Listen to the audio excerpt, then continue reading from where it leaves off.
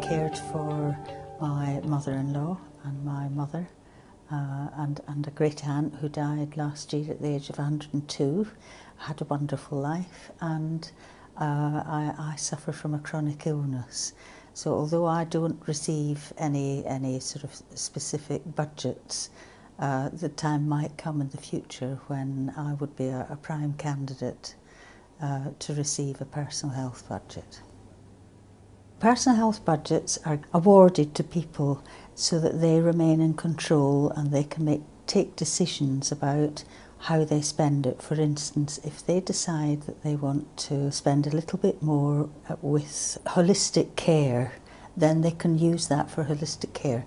It helps to focus the spending more efficiently and target the spending better, as well as giving a very personal service. Personal choice and control. Control is absolutely paramount to people's well-being. If people feel they're in control, then the, the quality of life immediately improves.